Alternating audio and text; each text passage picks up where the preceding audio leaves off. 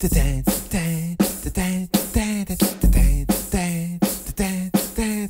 astuces, les astuces, les astuces à show.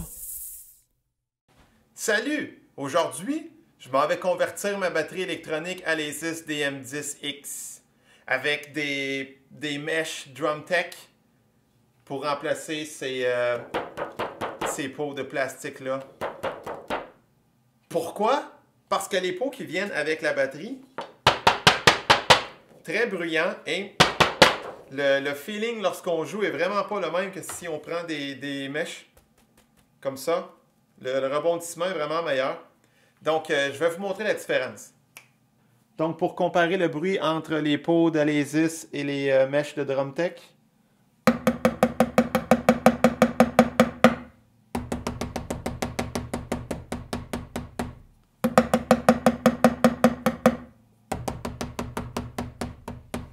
C'est très facile à convertir. Premièrement, on enlève la protection autour de la caisse.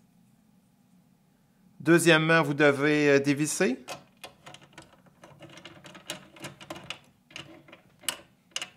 Quand vous avez fini de dévisser, vous enlevez l'anneau autour.